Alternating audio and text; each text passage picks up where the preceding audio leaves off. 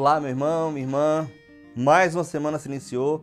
Hoje é o décimo dia do, nosso período de 14 dias de jejum e oração. Espero que esses, dez, esses nove primeiros dias tenham sido abençoadores na sua vida. E eu quero hoje ler o texto com vocês lá de Neemias, capítulo 6. E assim como na semana passada, eu quero ler também apenas um versículo, versículo 3 de Neemias 6. Diz o seguinte: Enviou-lhes mensageiros a dizer: Estou fazendo grande obra, de modo que não poderei descer. Por que cessaria a obra enquanto eu a deixasse e fosse ter convosco? Meus irmãos, o que estava acontecendo aqui? Sambalaste e seus amigos, né, inimigos de, de Neemias, é, eles estavam fazendo de tudo para que a obra da reconstrução do templo não fosse concluída. E aqui nesse texto, os muros já, já tinham sido levantados, mas os portões ainda não.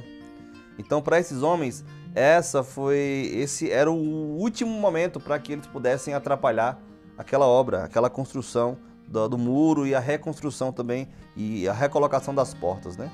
E aqui nós vemos aqui um convite para fazer o mal. Eles quiseram fazer mal a, a Neemias e ao povo, né? E além disso era um convite insistente. Nós vamos ver nos próximos versículos que mais quatro vezes enviaram o mesmo pedido e mais uma quinta vez também enviaram o pedido e mesmo assim, Neemias deu uma resposta sábia: Eu não vou sair daqui, porque eu estou fazendo uma grande obra. Então, a primeira lição que nós aprendemos nesse texto aqui é que devemos estar focados na missão. Qual é o nosso propósito? Para que nós existimos? Né? E a resposta é simples. Nós é, somos chamados, o nosso propósito é para adorar a Deus e fazê-lo conhecido. Né? Então, primeira lição é que nós devemos estar focados na missão.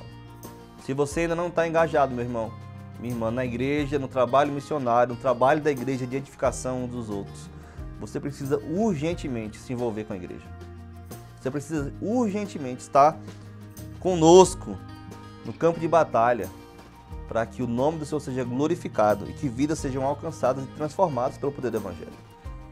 Você não pode ser um crente que está atordoado com a vida está focado em outras coisas, mas não no que, no que, no que nós fomos chamados, que é a missão do Senhor. Segundo, segunda lição que esse texto nos ensina é que além de, de, de estarmos focados na missão, que devemos estar focados na missão, esse texto e a, e a resposta de Neemias nos deixa re, é, reflexivo porque devemos estar assegurado é, o chamado, estar seguro no chamado se isso foi que Deus me chamou, eu não vou deixar nada atrapalhar. Eu não vou deixar nada me tirar o foco, me tirar, me direcionar para o outro lado. E por último aqui, devemos fugir do que atrapalha o cumprimento da nossa missão. Aqui ele não quis nem saber, não quis se encontrar com ninguém, porque ele não queria que nada o atrapalhasse no cumprimento da sua missão. O que tem atrapalhado você na sua vida a cumprir a missão do Senhor? O que tem te deixado para baixo ou te segurado para que você não faça o que Deus tem lhe chamado para fazer.